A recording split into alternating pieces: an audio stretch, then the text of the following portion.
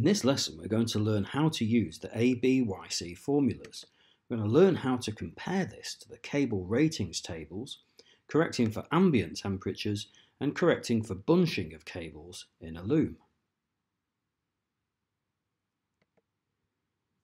In order to size cables using the ABYC formulas, we need to consider amps, voltage drop, resistance and cable length. Let's look first at these individually. The current in amps is one of the main deciding factors, as higher currents require thicker cables to carry them. All cables will cause some voltage drop, so we have acceptable levels that we can safely work with as set out by the ABYC. The voltage drop is due to resistance, as all cables have some resistance. We use the figure 10.75 ohms as a recognised standard for the resistance of one foot of one circular mil of copper. On the board here, you can see each foot of cable is acting like a resistor in series, and all those resistances add up.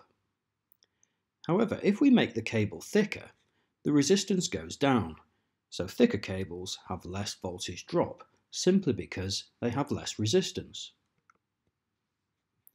So longer cables must be thicker. The two cables on the board here are both carrying 10 amps, but the shorter cable can be thinner than the longer cable and still have the same volt drop. We can use all the variables above to calculate cable size based on a specific acceptable voltage drop. So we're going to use the Kyle formula here. Well, K is a constant in this formula of 10.75 ohms. It never changes as it's the resistance in ohms of a theoretical one foot strand of a one circ mil copper cable. So from now on, it will simply be referred to as K. Also remember, we use the letter I in formulas for amps. We will show all the metrics at this stage.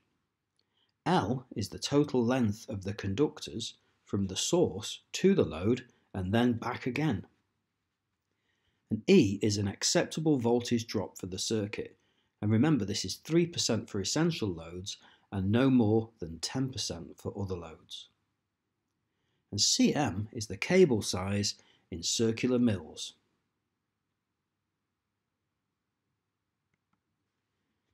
So we can work out the cable size by multiplying K by the current and then by the length of both the positive and negative conductors in feet.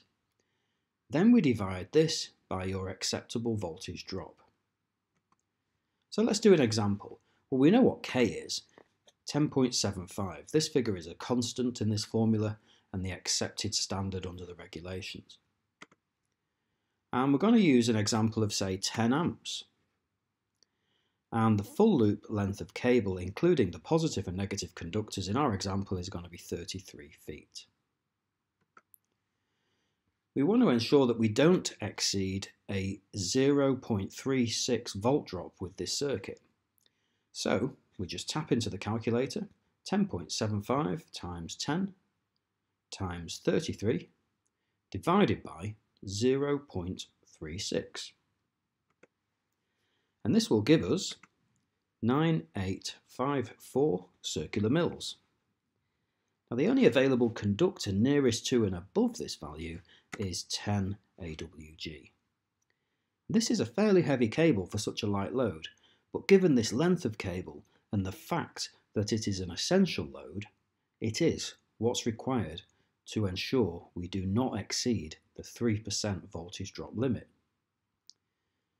So now we know the copper part of this cable size has a safe voltage drop, we must now consider the capabilities of the insulation. So now we have a look at the ampacity table. All cables have a heat rating, and this is normally 221 degrees Fahrenheit. It should however be printed on each cable as part of the cable manufacturing process. I would recommend if you are adding to your wiring to use this rating. This table shows us the nominal current ratings for each of the cable sizes based on their insulation temperature ranges. For cables rated at 140 degrees Fahrenheit that are to be used outside the engine bay, we can use this column here. And we can see in this row, the 10 AWG cable has a current rating of 40 amps, well in excess of the 10 amps for our example. So everything is good, unless we want to use this cable in the engine bay. Cable that's only rated at 140 degrees Fahrenheit is not permitted for use in engine space. So if we wanted to run any part of this cable through the engine bay, we must choose a higher temperature cable.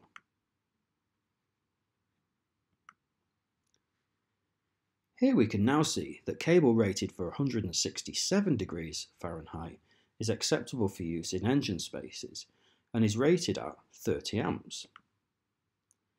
So this is well above our 10 amp load. So we need a cable that is 10 AWG and rated with an insulation temperature of at least 167 degrees Fahrenheit. There are however different tables for bundling cables. If we bundle up to three cables, we must use this table. Bunching of cables causes them to retain more heat. In this example, the same conductor's ampacity is reduced to 21 amps, still much higher than our requirements of 10 amps. However, if our cables are bundled more than this, we must apply further corrections as shown here. So in our example, we found our cable had an ampacity rating of 21 amps from the ampacity table for a bundled conductor. But if we bundled it in a conduit with more than 25 other cables, it cannot shed heat as well, so we must apply the correction factor of 0.571. So to do this, tap into the calculator 21 times 0.571 and we get 11.99 amps. So let's call it 12 amps. This is still safely above our original load of 10 amps, but only by 2 amps. And yes, this is an extreme example to make a comparison between the initial rating of 30 amps to the reduced rating now of just 12 amps. In our example, a cable with a higher temperature insulation rating would have been a much better option. So to summarise, we always calculate cable size first based on voltage drop and then compare this to the ampacity table to ensure the cable has sufficient rating for the task in hand. In most cases, the cable size formula will specify a thicker cable than the ampacity table. If this is not the case, just use a bigger cable size.